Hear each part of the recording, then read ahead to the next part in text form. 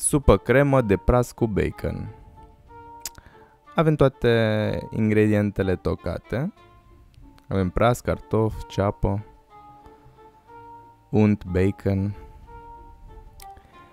Pentru supă, punem o oală medie pe foc, topim untul și călim ceapa. După ce ceapa s-a călit, adăugăm celelalte ingrediente, prazul și cartoful. Lăsăm 5 minute să se acomodeze după care adăugăm supa de pui sau apa după caz, de preferat supă de pui. Această supă de pui trebuie să depășească cu două degete ingredientele solide ale supei.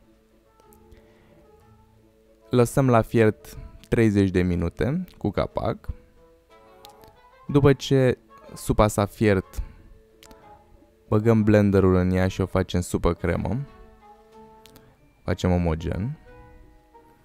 Se poate servi cu smântână lichidă, se poate adăuga și evident cu crutoane și bacon. Pentru rețeta de cum să prepari bacon la cuptor și crutoane, urmăriți linkul de aici.